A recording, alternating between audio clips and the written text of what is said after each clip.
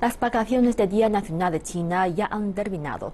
El sector turístico, un importante motor de la economía del país, ha registrado un nuevo récord. Hacemos un vistazo.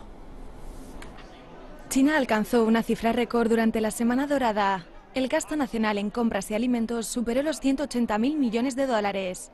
Esto supone un gran impulso para la economía china.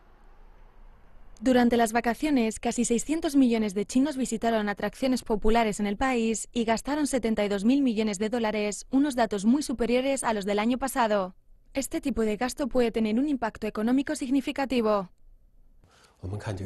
En lo que respecta a los ingresos turísticos nacionales anuales, el consumo durante la Semana Dorada puede ser de entre un 10 y un 15%. Los ingresos de los negocios minoristas durante las vacaciones suponen alrededor de un 5% de todo el año. Las vacaciones de ocio también son muy populares, no solo los destinos tradicionales. Los turistas chinos piensan más dónde quieren ir y qué quieren hacer. Su preparación de estas vacaciones comenzó con más anticipación de lo normal. Tienen objetivos específicos y quieren experiencias más enriquecedoras, especialmente viajes al extranjero.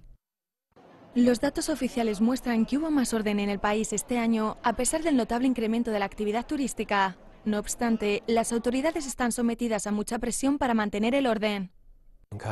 El número de viajeros durante los primeros tres días de vacaciones superó los 100 millones. Nunca hemos visto esto anteriormente, lo que trajo mucha presión. A largo plazo, este aumento del consumo debería ser moderado mediante vacaciones flexibles, no con las actuales semanas doradas. La Semana Dorada ha sido durante los últimos 17 años un gran motor de la economía china.